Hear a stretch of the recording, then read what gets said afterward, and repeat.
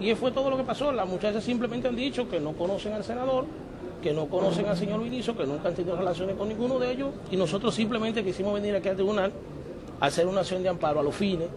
como el licenciado Vinicio estableció que iba a someter personas por esta acción y como ni ella ni quien les habla tiene nada que ver con esto,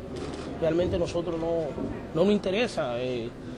que realmente nosotros no tenemos interés en que ni hacerle daño al senador, ni hacerle daño al señor Vinicito, ni hacer más porque no lo conocemos, ni la muchacha tampoco.